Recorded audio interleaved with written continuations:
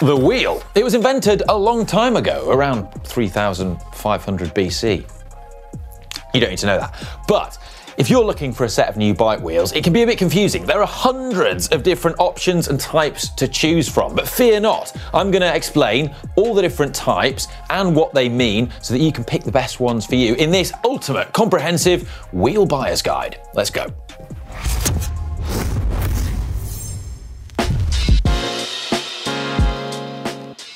With all the different types of wheels out there, it can get really confusing.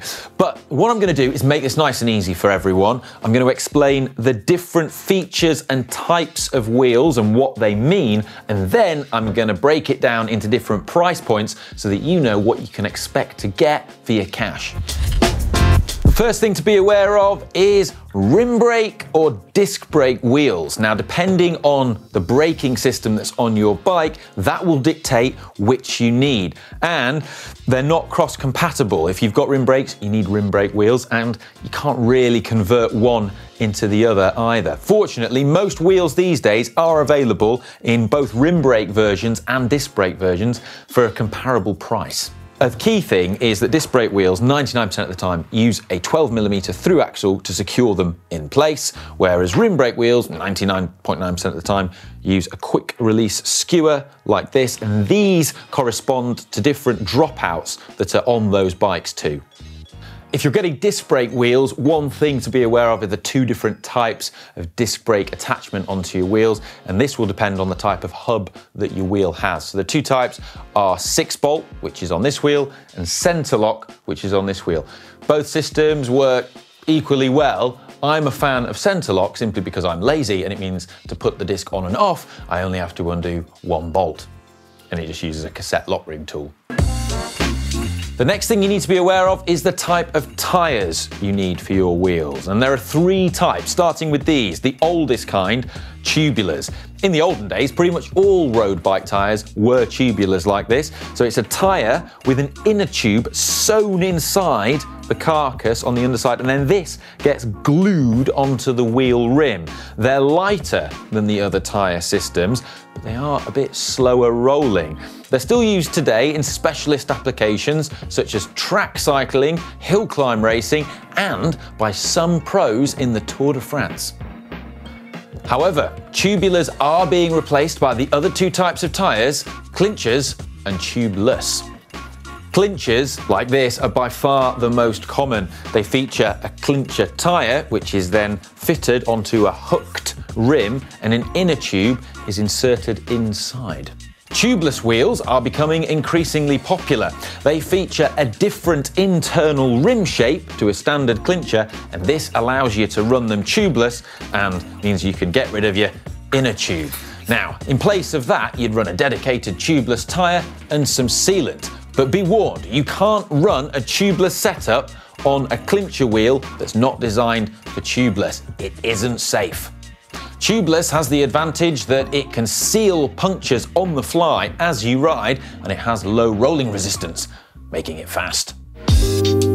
Next comes the material that your wheels are made from. Road bike wheels are typically either alloy or carbon. Carbon is lighter and more expensive, but more on that in a moment. Carbon wheels can also be deeper and more aerodynamic, but rim brake carbon wheels are notoriously bad at braking in the wet. Rim brake wheels wear at the rim from the erosion of the braking surface over time, whereas disc brake wheels can last longer because they only wear on the disc and the rotors can be replaced. Rim width. Over the last few years, wheels have been getting wider and wider, and this is following the trend for wider tyres. 10 years ago, 14 millimetres wide internal width was the kind of standard that came with most wheels, whereas today it's typically around 19 millimeters internal width, which is ideal for 25 millimeter tires so that they can sit nice and flush and have a nice big contact patch. However, wheels get even wider now. You can also get wheels with sort of 22, 23 millimeters internal width, which is massive and ideal for bigger tires, such as 28 millimeters and above, which gives you added flexibility if you want to ride your bike both on the road with increased comfort, but also fit some gravel tyres and take it off road. Track wheels and road wheels are different too. So wheels designed for the road have a free hub on the rear wheel, and this is where you can attach your sprockets or your cassette. Whereas track wheels or single speed wheels don't have a free hub or space for the cassette, as they just are designed to accommodate a single sprocket. The other thing to note with free hubs is that there are different types. SRAM and Shimano free hub bodies are compatible with each other, whereas Campagnolo use a different type. And if you're using a 12 speed cassette, they can use a different type of free hub too. Older systems, such as the pre Shimano Hyperglide cassettes, had a different spline pattern, meaning they require a different free hub as well. I won't go into all the detail of that here, but just be aware of it and make sure that you get the right free hub body for the cassette you intend to use. Now let's look at the price of wheels and what you can expect for your money, starting with the 500 pounds, euros or dollars price point, which is my favorite price point. Now, the things that impact the price of a wheel are weight, lighter is more expensive, aerodynamics, the more aero a wheel is, is more expensive, and then the durability and the build quality or the use of exotic components and materials. These two will make the wheel more expensive. The 500 pounds, euros, dollars price point is a really competitive one and represents a significant upgrade on the wheels that came with your bike if it was an entry level one. And after tyres and inner tubes, in our experience, wheels are the biggest bang for your buck upgrade and will transform your bike. At this price, you're typically looking at an alloy rim rather than carbon and quite shallow as well, usually below 30 millimeters in depth. They're likely to be lighter than the entry level wheels that your bike came with, although not by a huge amount. They will also probably be stiffer and better built with higher quality hubs.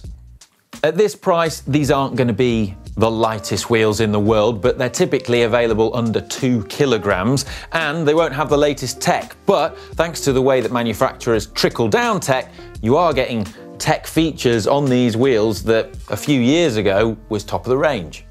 The hubs will typically feature sealed cartridge bearings, which are pretty easy to replace, although some brands such as Campagnolo and Shimano still use cup and cone bearings in a lot of their hubs. These can be a little bit trickier to maintain for an amateur, inexperienced mechanic. It's not a bad thing, it's just something to consider.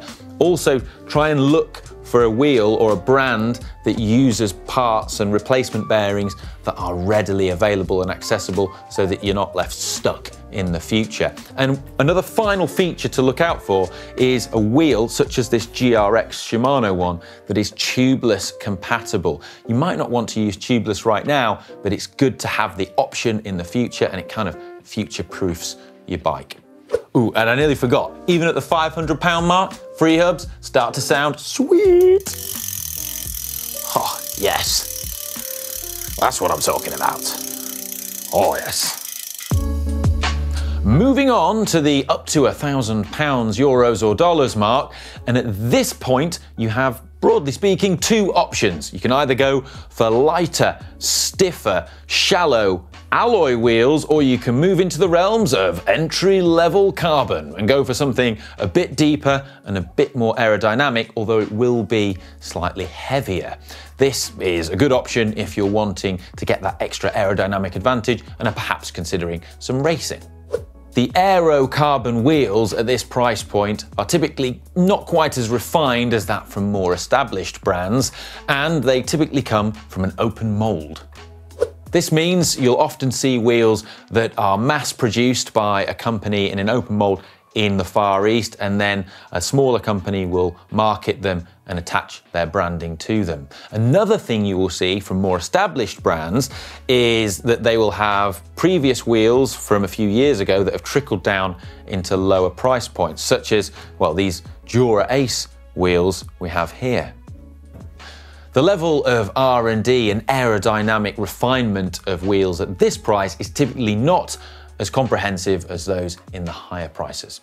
However, wheels at this price will make a noticeable difference to the way your bike rides, and although they will be more aerodynamic and lighter, they won't be the most aerodynamic or the lightest. You are likely to get improved better quality components and hubs over the previous price point, and those free hubs that sound mint.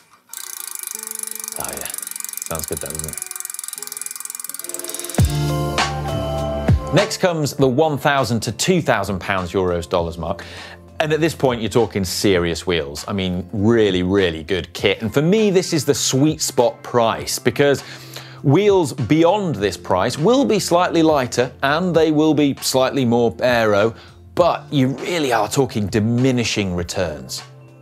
Not all wheel brands go beyond this price. For many, it represents their, their top end wheel sets, meaning that you can often find some of the latest tech in this price bracket. And wheels within this price range typically weigh around 1400 to 1600 grams, depending on the depth.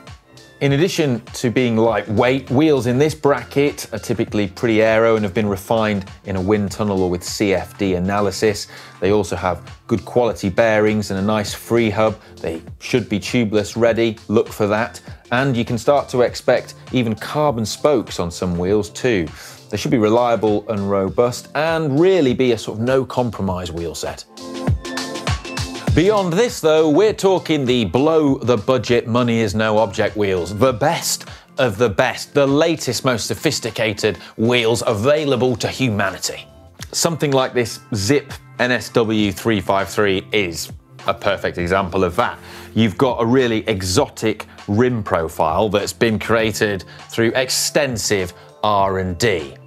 The latest hub designs, such as the cognition hubs being a great example on Zipp wheels, that are designed to reduce friction and drag with clever designs. Things like ceramic bearings are also employed and the weight will be low too. If you're on an ultra light set, then they can weigh typically between 900 grams and 1200 grams, which just feels incredible on a climb. If you're going for an aero set, then you're looking up towards 1500 grams.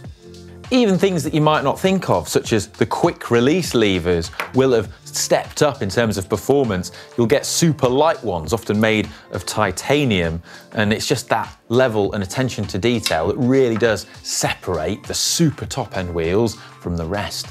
At this price, you will also see specialist wheels such as the discs used on the track by the pros, and also some exotic time trial wheels used on the road. But although you and I can buy these wheels, they tend to not be sold in huge numbers and are mainly the preserve of pro riders. I hope you found this video on wheels useful, and if you have, please give it a thumbs up as it helps support the channel. And if you've got any questions that we haven't answered, simply fire them down in the comments section below, and we'll do our best to answer them.